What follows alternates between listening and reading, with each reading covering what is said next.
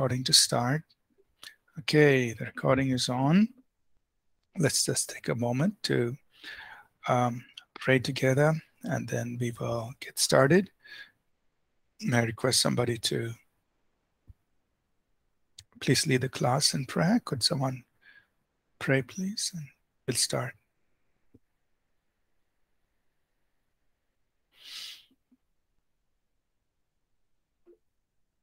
Go ahead, um, Sitkanu.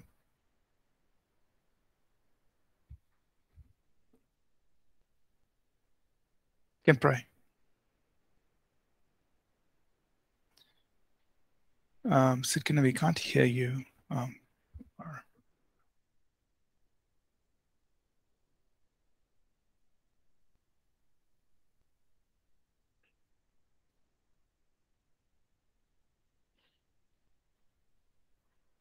Um,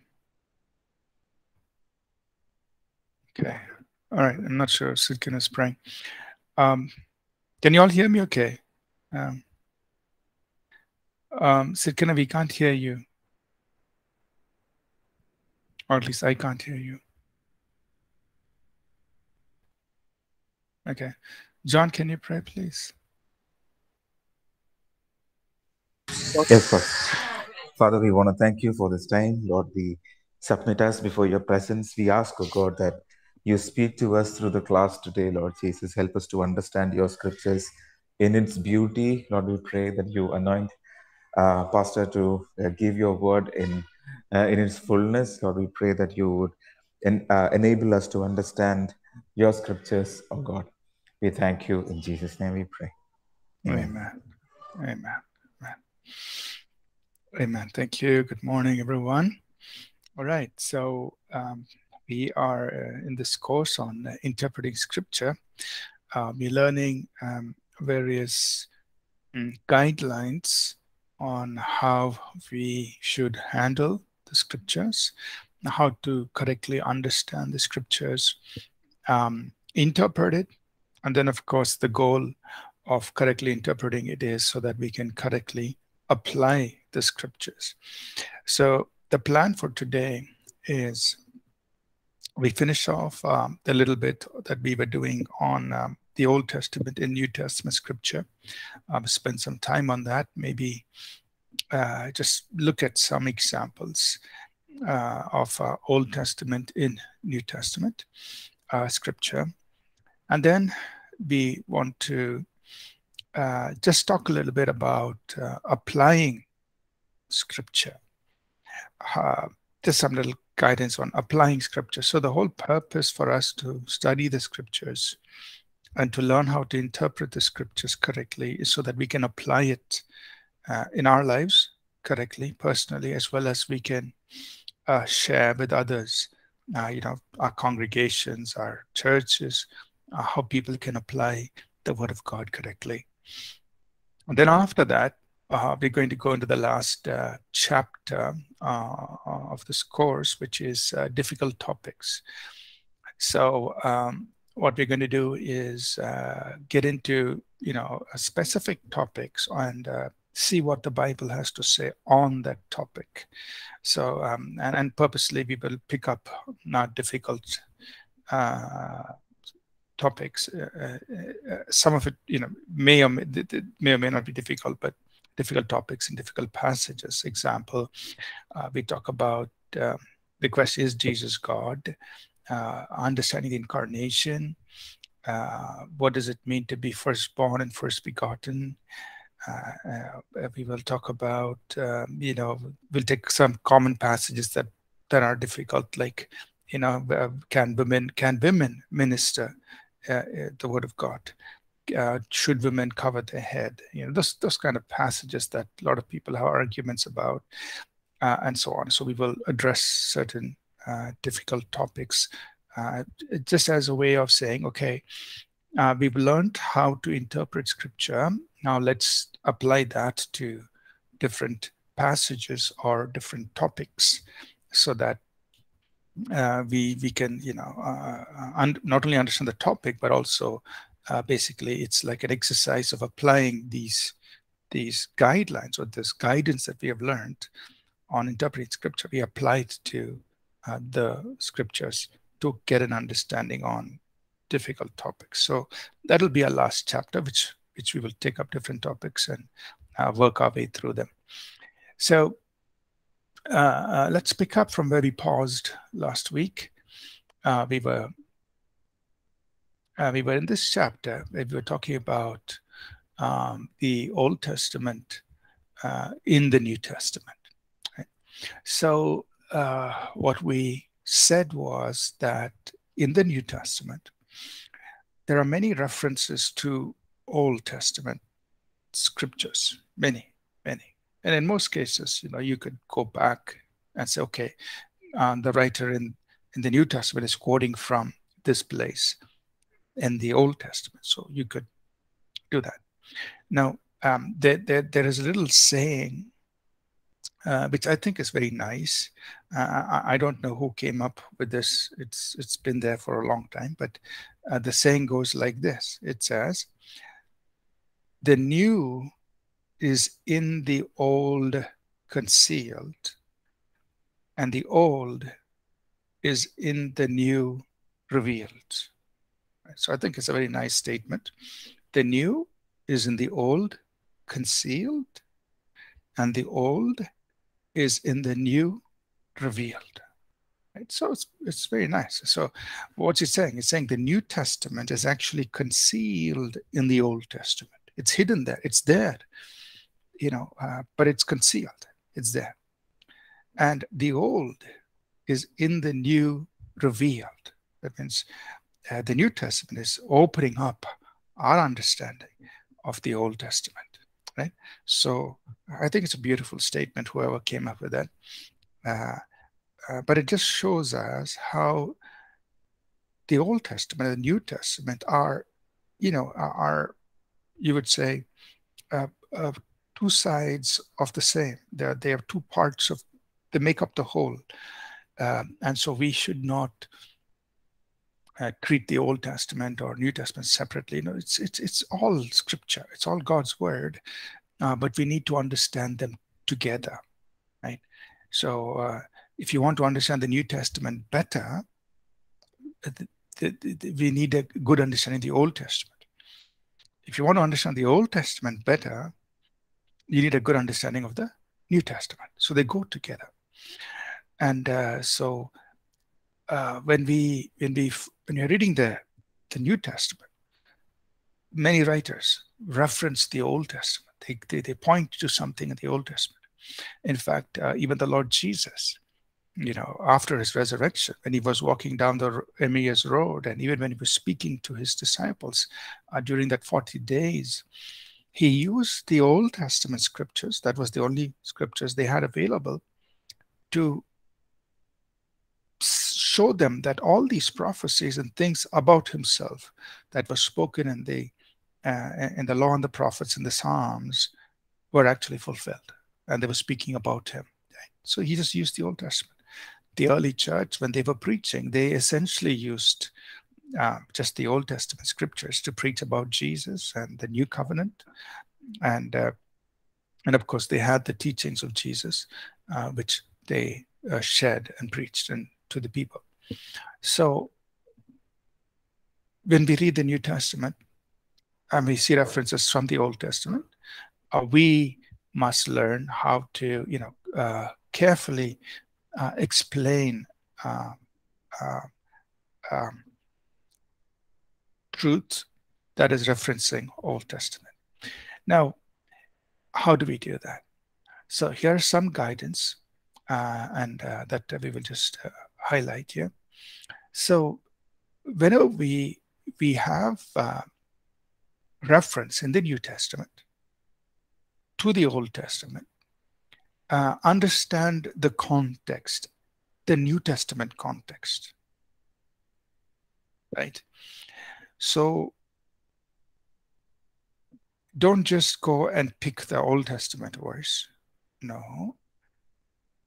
Understand what is the New Testament context within which the Old Testament reference is being made. Right? So uh, if you if you turn with me, the book of Romans, we will be studying the book of Romans, you know, uh, in, in, detail in uh, in in, in uh, our third year, we will go through uh, Romans uh, verse by verse. but in the book of Romans, almost, um, not I would say like almost every chapter or many chapters in Romans, the Apostle Paul is he's quoting happily, he's, he's just quoting a lot from the Old Testament. And he's using Old Testament language or Old Testament pictures in his writing. In fact, not just in Romans, but in many places, Paul's writings. But the, uh, his epistle to the Romans is, is a great example where he keeps quoting uh, from the Old Testament. So, for example, in Romans chapter 3, uh, or uh, uh, so, so it, uh, it, picks up here in Romans 2 itself. So, Romans 2, uh, he, uh, verse 24, he talks about the name of God is blasphemed among the Gentiles because of you, as it is written, Romans 2 24. I'm just giving that as an example. You could follow with me in your Bible. So, he's actually just he's quoting from the Old Testament but what is he is using that script uh, to speak to the Jews, or in this case, really speaking to believers, Jewish believers. So when he's writing to Rome, his audience includes Jewish believers and Gentile believers. There's a mix of them. But he's initially addressing Jewish believers to, and he's trying to explain to them you know how god although he chose the jews the people of israel it doesn't mean the jews are better than those the, the, just because they have the law doesn't make make them better than those without the law right? So he's building that up in romans chapter 2 and romans chapter 3 and he shows us how all have sinned and we all need jesus jew and gentile so in his building up, so that's the New Testament context of Romans chapter 2 and 3. And in building up that spirit understanding, truth, which Paul is bringing out, he's quoting many times from the Old Testament. So Romans 2.24, Romans chapter 3 and verse 4, and then uh, Romans 3, 10 to 18 is all quotations from Old Testament. But what is the context? The context is he's trying to show his audience, that is the believers at Rome, that Jew and Gentile all have sinned. That the Jews are not better just because they have the law. No, all have sinned. Right? So that's the context. So when uh, we must keep the context in mind. Um, like like this uh, you know throughout romans you can follow and see how many times paul is quoting from the old testament but there is a context in which he is making those references right? So first one understand what is the main idea. So when you say context you're saying what is the main idea? What is the writer speaking about? And so every scripture has to be understood in its original context the second thing, when we are uh, working with the Old Testament in the New Testament, is go back to the Old Testament and understand, you know, what was being said then, which is relevant to us in the New Testament. Right. So we are, uh, are looking at uh, the Old Testament, in which the verse was given, while we are seeing the New Testament. So let's go example. Let's go ex as an example. Let's go to Matthew chapter 8, please. So I think uh, one way to really, uh, uh, um, you know, uh, understand it is by looking at examples. That the thing is, there are so many examples. So, uh, uh, you know, we just have to pick and choose a few. So if you go to Matthew chapter 8, and uh, let's read verses 16 and 17, please. Could somebody read that for us? Just we're just giving an example. Matthew 8, 16 and 17.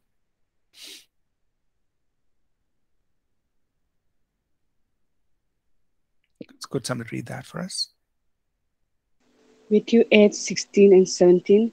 When evening had come, they brought to him many who were demon possessed, and he cast out the spirits with a word and healed all who were sick, that it might be fulfilled which was spoken by Isaiah the prophet, saying, He himself took our infirmities and bore our sicknesses.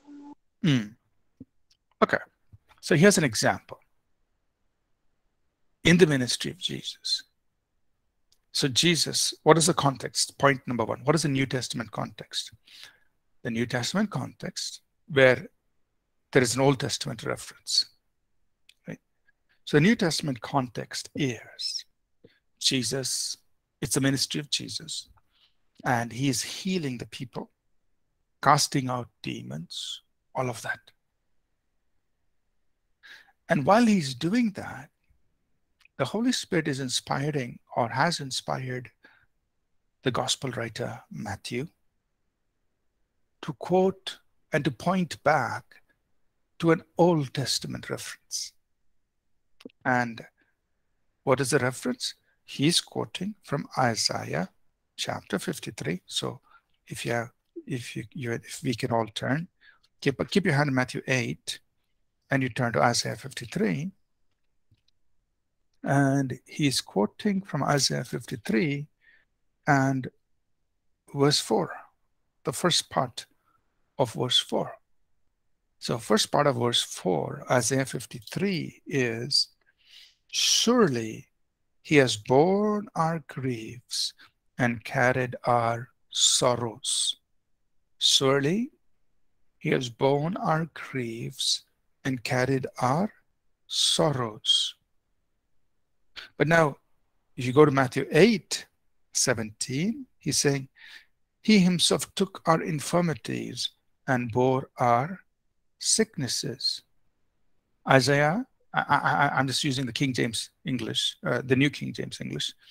The New King James is saying, Isaiah 53 4, Surely he has borne our griefs and carried our sorrows.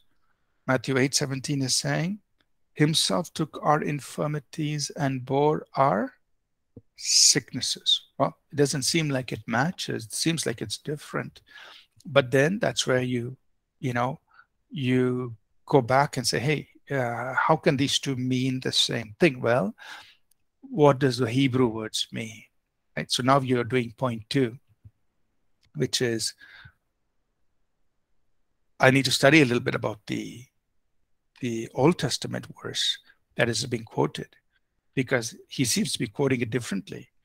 In Matthew 8 17, he's talking about sickness, infirmities, and sickness. In Isaiah 53 4, he's talking about griefs and sorrows. In English, these words all mean different. You know, you, use the word grief and sorrow, maybe when somebody has lost a loved one. You talk about infirmities and sicknesses when you talk about, you know, physical conditions. So they seem to be different in English.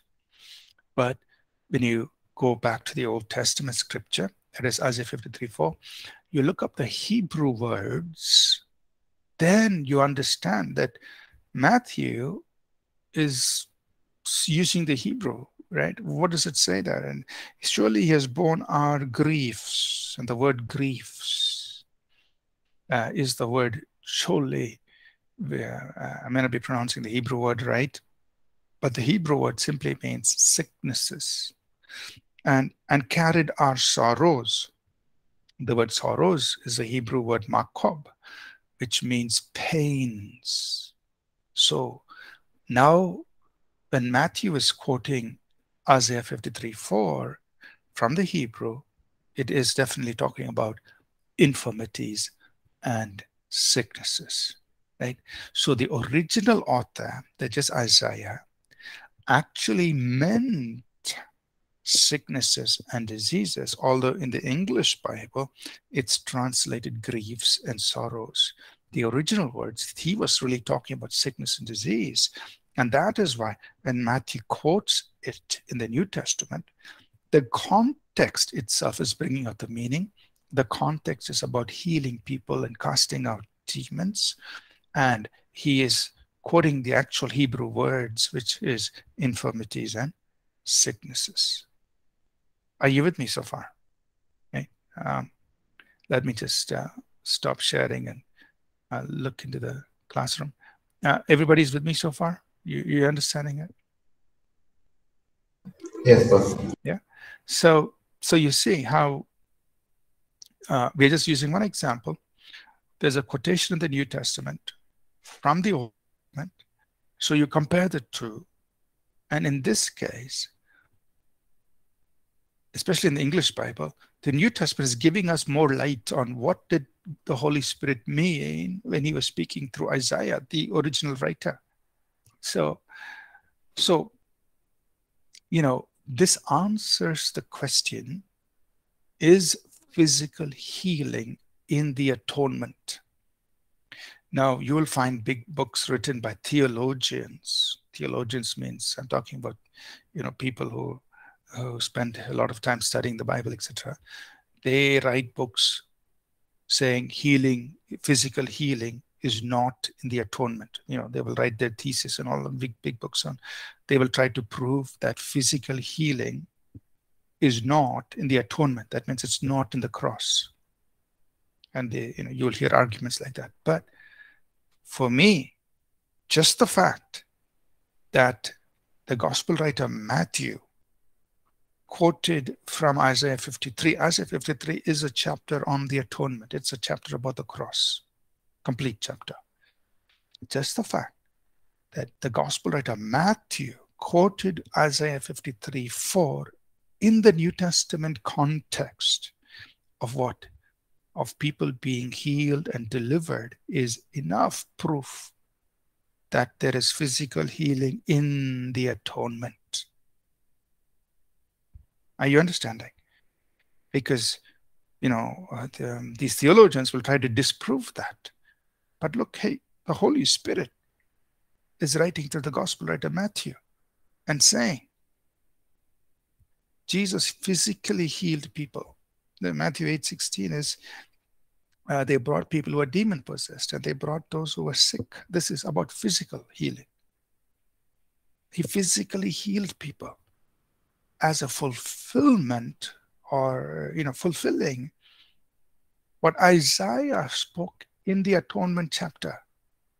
So for me, this settles it. Physical healing is in the atonement. Physical healing is in the cross of Christ. It's there. It's a blessing of the cross. No, no more arguments. I'm not. I'm not interested because it's you see how, how the New Testament writer, by the Holy Spirit, is revealing or is explaining Old Testament. See, the old is in the new revealed. Right? So he's revealing something from the Old Testament. Right? So the context is here. Context is very clear. Right? So uh, this this uh, quotation from the old in the new, you look at the New Testament context, it gives us more light on the old. And uh, then you go back to the old, you look at it.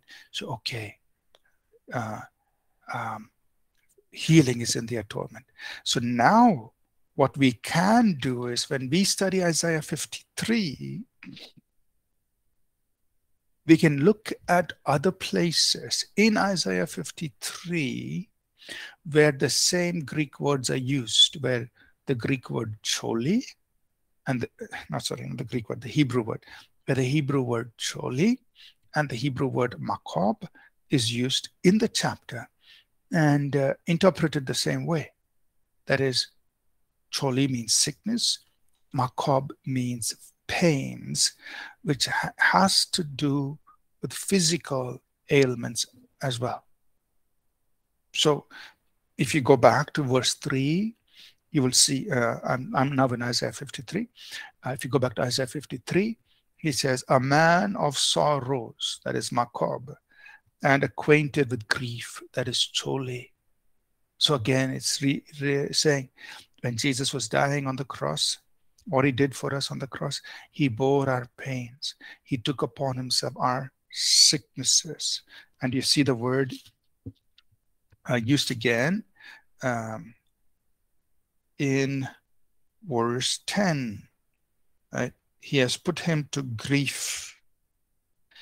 Um, uh, so the word is used again there. He has put him to grief, choli. Yeah. So uh, we, one minute, uh, this is verse 10. Let me just quickly uh, look it up. One minute. I don't want to. I don't want to say something wrong here. Isaiah 53 and verse 10. I'm just looking up that word just to make sure it's the same Hebrew word used here. Uh, uh, for grief. He had put him to chala. Yeah, it's chala. It's a different word, chala, but it also means to make sick. So this is in Isaiah 53:10. He has put him to grief. The Hebrew word is slightly different uh, uh, from choli, but that word also can be uh, that's verse 10. The word, the word grief in verse 10 can also be translated as sickness. Sickness. Okay. And then this verse that we know in verse 5, Isaiah 53 5, and by his stripes we are healed. By his stripes we are healed. That means we are completely made whole. We can therefore use that to say, you know, healing is in the atonement because verse 4 verse 4 says surely Isaiah 53 4 surely has borne our sickness and carried our pains and then verse 5 the punishment for our peace was upon him and by his stripes we are healed so it's not just talking about uh, healing, um, uh, forgiveness of sins, healing, uh, spiritual healing in that sense. Uh, but he is also talking about physical healing because verse 4 it deals with physical sickness and disease. Are you with me? Right? So that's one one thing, one you know, one one uh, understanding.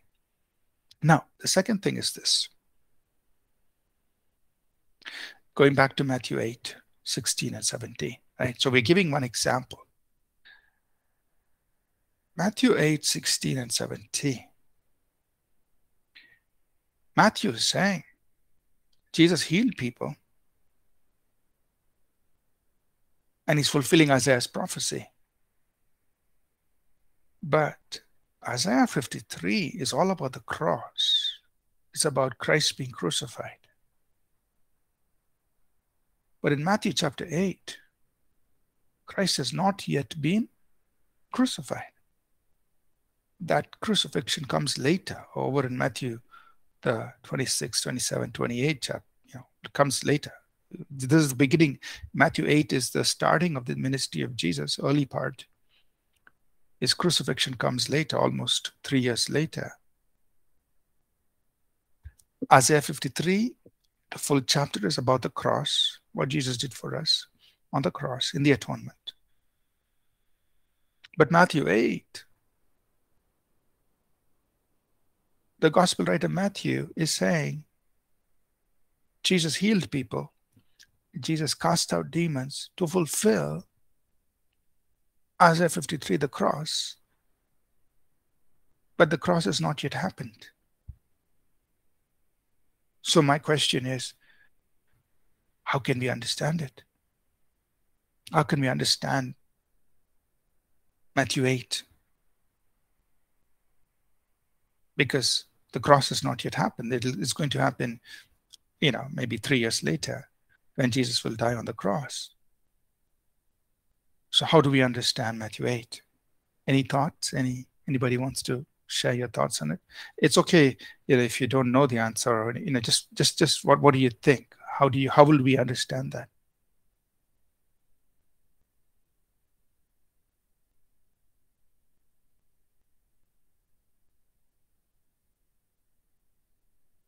Anyone?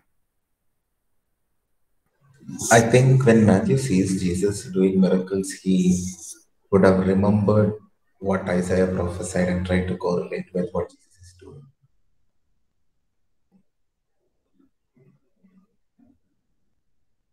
Uh, say that again, John. Uh, I'm sorry, I didn't understand. Um, I was thinking Matthew saw what Jesus doing as miracles, and uh, he would have read uh, what Isaiah has written earlier, so he tried to correlate uh, the promised Messiah, Jesus would come and do this. Mm, mm, mm. Yeah, but um, so the the um, call. Okay, Collins, please share. Please share your thoughts.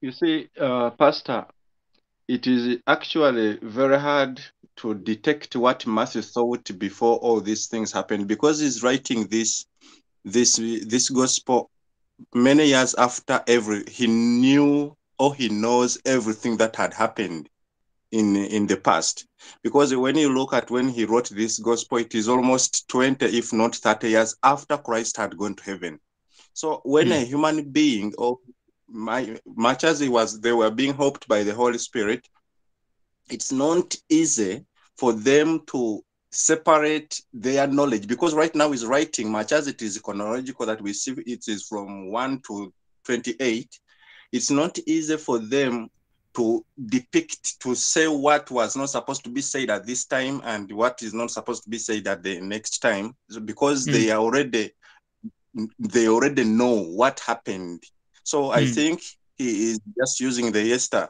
the Esther moral principle whereby he cannot separate he's not separating what happened earlier and what but is mentioning him in the same context of him being our savior and dying for our sins on the cross. Mm. thank you sir. Mm. Mm. very good. Very good. Good. Thank you. Anybody else? You want to share your thoughts? So our question is uh, or the question i put out was uh, matthew 8 uh, it's the beginning of jesus ministry Uh, um, how could Matthew say it's fulfilling Isaiah 53? So we're trying to understand that. And, you know, any thoughts on it?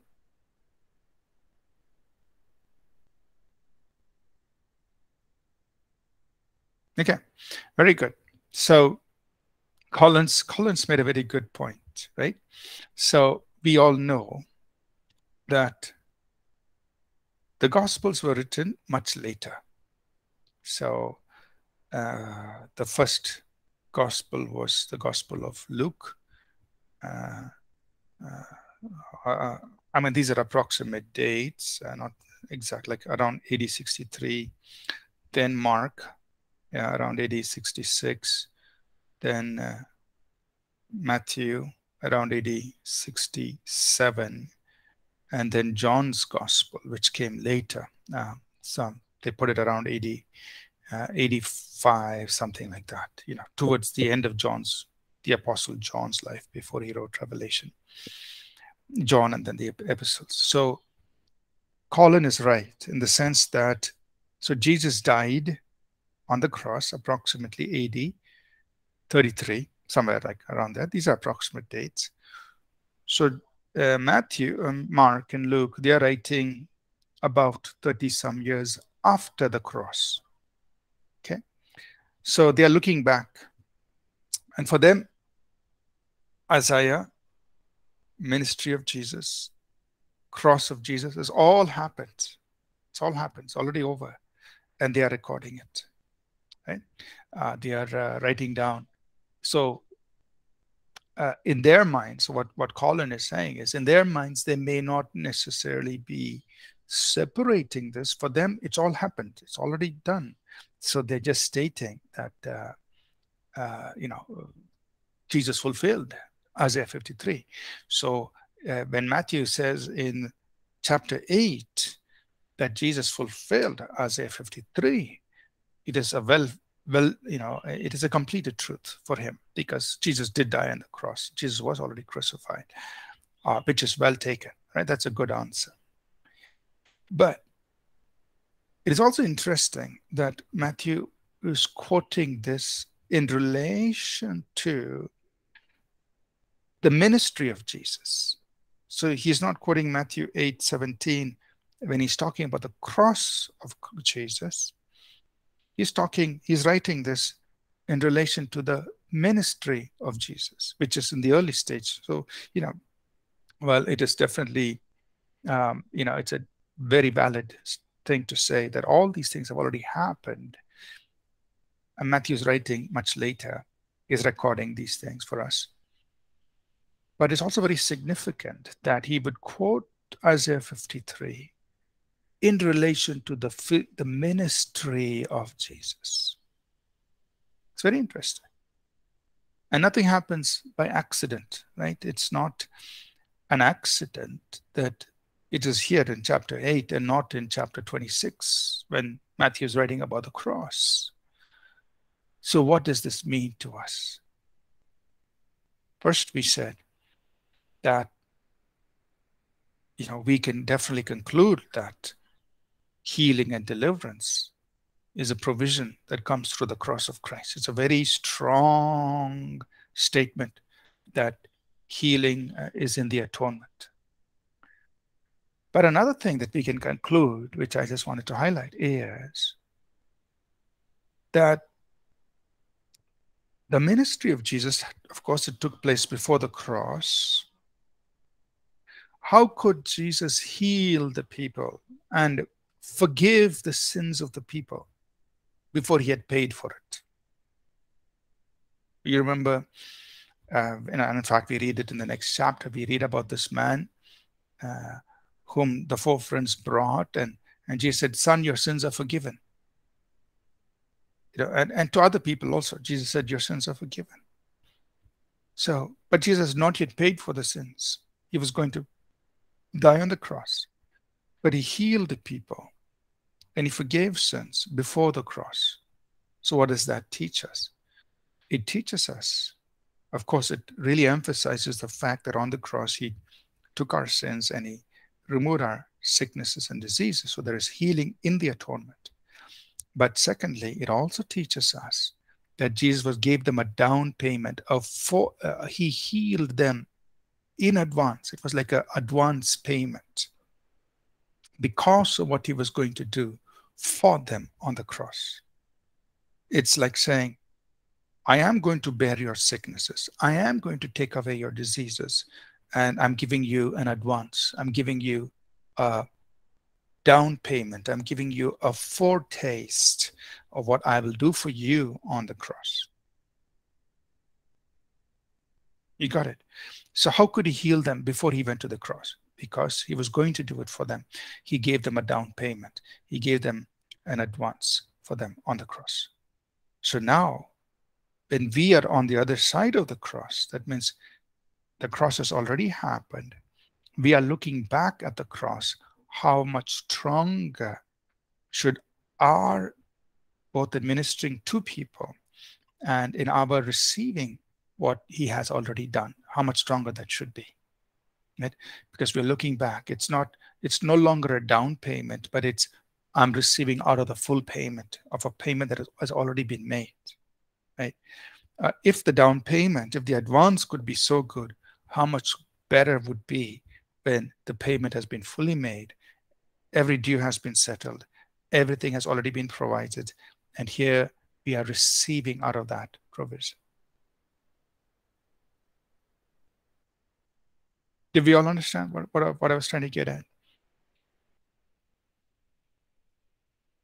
Okay, so on what basis did Jesus, you know, on, on what basis did Jesus heal and forgive people before the cross?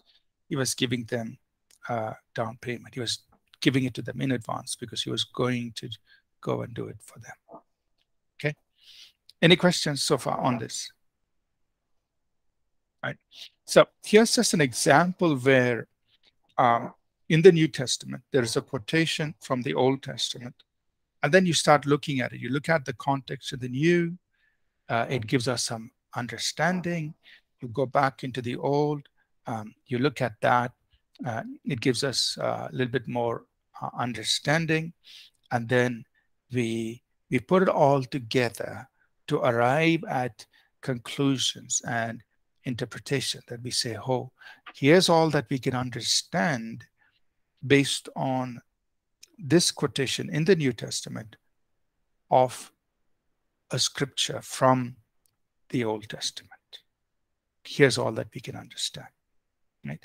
So, like this, there are many other um, uh, references to the Old Testament in the New Testament, right? And uh, uh, uh, the New Testament then explains to us what uh, the Old Testament intended, right? So I want us to look at one more, uh, one more, uh, uh one more example. It is a little bit more, I would say, um, a little bit more. Maybe I would use the word maybe complicated, uh, or maybe a little bit more difficult or thought provoking. Uh, and this is in Galatians chapter 3. Right? So if you go with me, please, to Galatians chapter 3, and we read verses 22 to 31. Galatians chapter 3, uh, sorry, not chapter 3, Galatians chapter 4. Hmm, Galatians chapter 4 verses 22 to 31. So I want us to do another analysis, another passage, okay, where Paul is quoting from Old Testament. He's making reference to Old Testament incidents and so on. And he quotes Old Testament scripture. But uh, it's it's a little more difficult to understand. So it's it's good for us to work on this passage. So let's read this, Galatians chapter 4, verses 22 to 31. Let me type it here. Galatians 4, 22 to 31. All right. And let us try to understand. This is one more example of Old Testament being used in the New Testament. How do we go about understanding that? Okay. Could somebody read this passage for us, please? For it is written that Abraham had two sons, the one by a bondwoman, the other by a free woman. But he who was of the bondwoman was born according to the flesh, and he of the free woman through promise, which things are symbolic. For these are the two covenants the one from Mount Sinai, which gives birth to bondage, which is Hagar. For this Hagar is Mount Sinai in Arabia and corresponds to Jerusalem, which is which now is and is in bondage with her children. But the Jerusalem above is free, which is the mother of us all.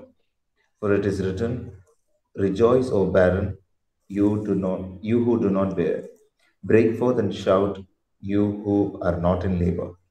For the desolate has many more children than she who has a husband. Uh, Pastor, I'll read till 31. Yes, yes, please. Now we, brethren, as Isaac was, are children of promise. But as he who was born according to the flesh, then persecuted him who was born according to the Spirit, even so it is now. Nevertheless, what does the scripture say? Cast out the bondwoman and her son, for the son of the bondwoman shall not be heir with the son of the free woman. So then, brethren, we are not children of the bondwoman, but of the free. Mm. Okay. So this is a very interesting passage and a little bit more complicated passage. Right? So let's try to understand. First of all, we need to know the context and then we need to get into the details of all the Old Testament uh, references that Paul is making. So, you know, he's talking about um, Abraham, Old Testament, two sons, uh, Ishmael and Isaac, again, Old Testament. Then he's talking about two covenants. He's talking about Mount Sinai and Jerusalem. He's talking about Hagar, and uh, he doesn't mention the name of um, Sarah, but he's doing a contrast. Just as he's contrasting, Ishmael, and Isaac. And so that is, those are all the Old Testament um, references he's making. Along with that, he's quoting two scriptures from the Old Testament, that is verse 27 and verse 30. These are both scriptures from the Old Testament. So he's put, so all these are Old Testament references. So pretty complicated. He's making so many references. You know, Abraham, Isaac, Ishmael, Hagar, Sarah, uh, Mount Sinai, Jerusalem, and then two verses, all in these uh, uh, in this short passage, about nine verses. He's he's done so much. But what is the message he's trying to get to us? What is he trying to tell us? He's writing to New Testament believers. He's writing to us. So, how do we understand it? Right? So here's one example. Here's another example, like, you know, and there are many examples, but here's another example where Old Testament incidents, people, characters are referenced in the New Testament to teach us something. How do we understand it? How do we go about interpreting it? And what is the truth? we are supposed to take from you know this kind of uh, uh, passage where the Old Testament is being used in the New Testament. Okay, so uh, what we will do is we'll go for our break now. And after we come from the break, let us try to understand, let us try to analyze this. How will we interpret this passage? Which has so many references to the Old Testament. And the first thing, first thing we have to do is what is the New Testament context? Right? That's point one. So in order for before I we jump back into the Old Testament and start talking about Abraham and Ishmael and Isaac and Hagar and Sarah and uh, Mount Sinai and all that, before we jump back there, we have to say, we have to understand first thing, what is the context?